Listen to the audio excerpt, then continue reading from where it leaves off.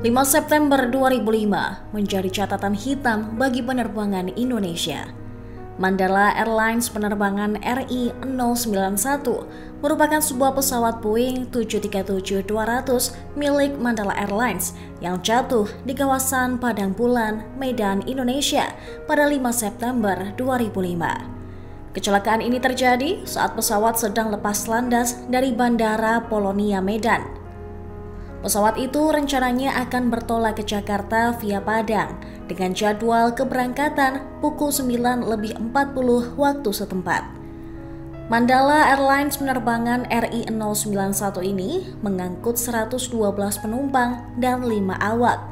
Penumpang yang tewas berjumlah 100 orang dan 49 orang di darat turut menjadi korban. Sedikitnya 17 penumpang dilaporkan selamat di antara korban kecelakaan yang meninggal dunia, termasuk Gubernur Sumatera Utara, Tengku Rizal Nurdin, yang rencananya akan bertemu Presiden, serta mantan Gubernur Sumatera Utara, Raja Inal Siregar.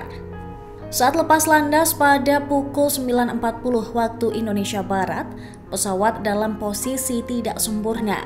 Saat pesawat melaju di runway, roda pesawat sempat meninggalkan aspal runway sejenak – kemudian stall atau kehilangan daya angkat sehingga jatuh kembali ke landasan dan terus melaju hingga keluar ujung landasan atau overrun. Setelah itu pesawat juga sempat melompati anak sungai Babura. Pesawat menabrak tiang listrik sebelum jatuh ke jalan dan menimpa rumah warga yang terletak hanya sekitar 100 meter dari bandara kemudian menghantam rumahan dan akhirnya meledak dan hancur berkeping-keping. Hanya tersisa ekor pesawat bertuliskan PKRIM. Sebanyak lima rumah warga yang tertimpa badan pesawat juga terbakar. Mengutip kompas.com, berdasarkan kesaksian seorang penumpang yang selamat, pesawat baru saja lepas landas dan tiba-tiba oleng ke kiri lalu mulailah api menjalar. Kobaran api selain menghanguskan pesawat, juga menghanguskan puluhan rumah dan kendaraan bermotor. Api yang terus menyala menyulitkan usaha penyelamatan jenazah dari bangkai pesawat dan kondisi di sekitar lokasi pun padat oleh penduduk yang penasaran.